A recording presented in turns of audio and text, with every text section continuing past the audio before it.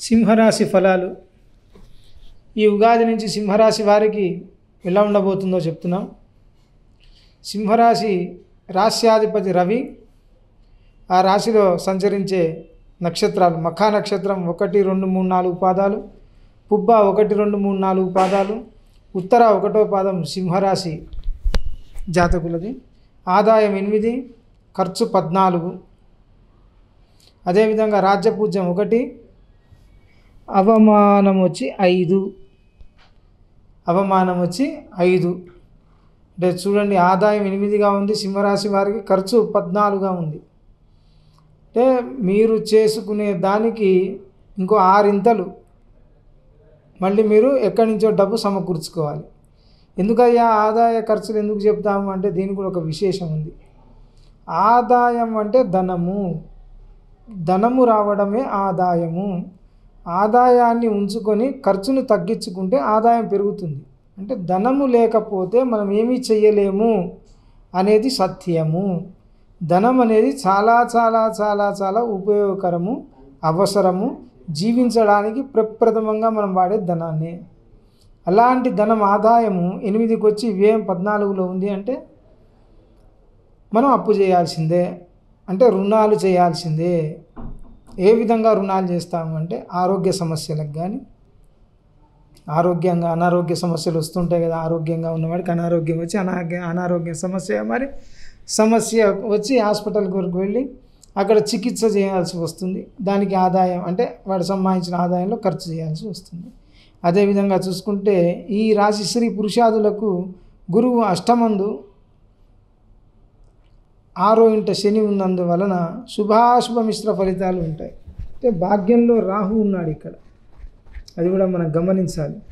అయితే రాహు భాగ్యంలో ఉన్నాడు కాబట్టి శక్తి సామర్థ్యాలు ఖచ్చితంగా కలిగి ఉంటాయి. అయినప్పటికీ గురువు బాలేడు. అష్టమ గురువుని సూచిస్తుంది ఇక్కడ.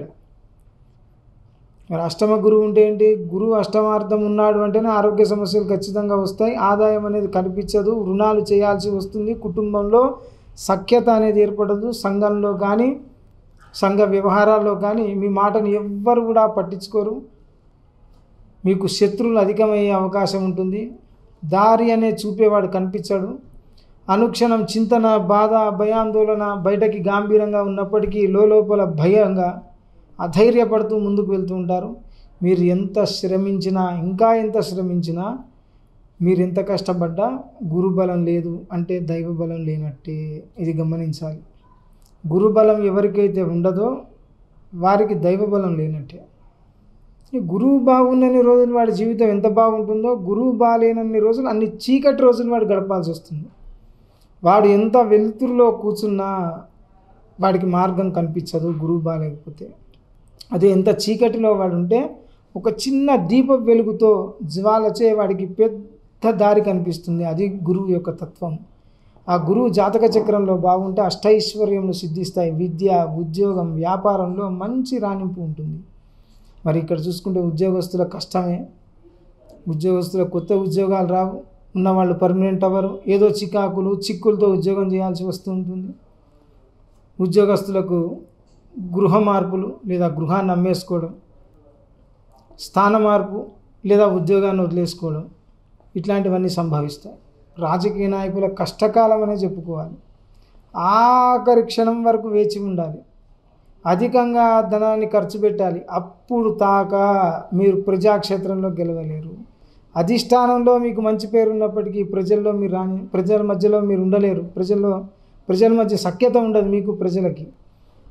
ధనాన్ని విపరీతంగా ఖర్చు చేయాల్సి వస్తుంది.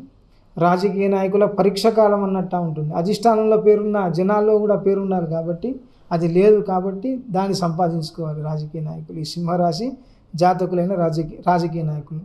అదేవిధంగా కళాకారులు సినీ కళాకారులు కానీ టీవీ కళాకారులు కానీ బాగానే ఉంటుంది వాళ్ళకి. వాళ్ళకు బాగుంటుంది కానీ నిర్మాతలకు బాగుండదు. ఖర్చు అధికంగా చేయాల్సి వస్తుంది. ఆదాయం ఏమీ కనిపించదు. వీళ్ళు మాత్రం చక్కగా ఉంటారు. ఈ కళాకారులు ఎవరైతే ఉన్నారో మధ్యస్థంగానో ఏదో సమ సమతుల్యంగా ఏదో గడిపేస్తుంటారు. కానీ నిర్మాత నిర్మాణ రంగంలో ఉన్న వారికి మాత్రం సింహరాశి జాతకులు ఎవరైతే ఉంటారో వాళ్ళకి ఆదాయం పెరుగుతుంది ఖర్చు పెరుగుతుంది ఆదాయం పెరుగుతుంది ఖర్చు పెరుగుతుంది. ఆఖరి క్షణంలో ఖర్చే కనిపిస్తుంది ఆదాయం కనిపించదు అంటే ఆదాయం తగ్గిపోతూ ఉంటుంటుంది. ఈ నిర్మాతలకు జరుగుతుంటుంది. విద్యార్థులు కూడా గురుబలం లేని కారణంగా వాళ్ళు దేంట్లో రాణింపు అనేది సరిగ్గా చూపించలేరు. బాగా చదవాలనుకున్న జ్ఞాపక శక్తి ఉండదు. గురువు బాలేడు కాబట్టి. అదే స్పోర్ట్స్లో రాణించినప్పటికీ ఉన్నత స్థాయిలో ఉన్న వాళ్ళు మిమ్మల్ని వీక్షించరు. అంటే ఆ స్థాయి వరకు మీరు వెళ్ళలేరు. అదేవిధంగా వ్యాపారులు అయితే ఒక్కడే ఉండి వ్యాపారం చేసుకుంటే ఏం భయం లేదు. కానీ భాగ్యస్వామి ఇంకో పార్ట్నర్తో ఎవరైనా వ్యాపారం చేస్తే కనుక వాడికి ఖచ్చితంగా నష్టాలు వస్తాయి విభేదాలు వస్తాయి. మాట మాట పట్టింపులు వస్తే విడిపోతారు. వ్యాపారం సజీవంగా సహజంగా జరిగే వ్యాపారం జరగకుండా ఎప్పుడు ఏదో రకమైన దెబ్బలాటలు ఇద్దరికి పడకపోవడం ఇలాంటివి జరుగుతూ ఉంటాయి. అదే ఒక్కడిగా ఉంటే మాత్రం వాడికి ఇబ్బంది లేదు. పౌల్ట్రీ బిజినెస్లో ఎవరైతే ఉంటారో కోళ్ళ వ్యాపారాలు ఎవరైతే చేస్తుంటారో చేపలు రొయ్యలు ఎవరైతే చేస్తూ వ్యాపారం చేస్తారో వాళ్ళకు మంచి ఆదాయం ఉంది. రైతులకు మొదటి పంట బాగుంటుంది కానీ రెండో పంట మాత్రం నష్టాన్ని కలిగిస్తుంది. ప్రభుత్వం కూడా చేతులు ఎత్తేస్తుంది చాలా ఇబ్బందులు పడతారు రైతులు. ఇది ఒకటి ఆచితూచి ముందుకు అడుగు వేయాలి. ఆడవారు ఇంట్లో ఉండే గృహిణీలు అయితే మీ మాట పట్టించుకునే వారే ఉండరు. మీ మాటకు విలువే ఉండదు. మీరు జాగ్రత్త వహించాలి. మాటకు విలువ లేదు కదా అని ఎవరితో పడితే వాళ్ళతో దెబ్బలాడద్దు పెత్తనం చేయొద్దు జాగ్రత్త వహించాలి. ఉద్యోగం చేయాలనుకునే స్త్రీలకు ninety nine point nine percent రాకపోవచ్చు. ఎక్కడో తెలిసి పెద్దవాళ్ళ నుండి మనులు పొందితే ఒక్క శాతం వచ్చే అవకాశం ఉంది ఉద్యోగం. పర్మనెంట్ కానీ వారికి ఈ సంవత్సరం కూడా పర్మనెంట్ కాదు. వివాహం కాని వారికి మరి వివాహం చేసుకోవాలన్నా జరగదు. సంతానం లేని వారి సంతానం అయితే కలుగుతుంది. ఏదేమైనా జాగ్రత్తగా ఉండాలి. మీ యొక్క సింహరాశి జాతకులకు పరిష్కారం లభించాలి అంటే మమ్మల్ని మా ఫోన్ నెంబర్ సంప్రదించండి. మీ జాతక చక్రం చూసి మీ గ్రహస్థితి ఎలా ఉందో మీ మీ యొక్క గ్రహస్థితిని గమనించి సశాస్త్రీయంగా పరిష్కారం చూపిస్తాం. ఈ సింహరాశి వారి యొక్క ఫలితాలు.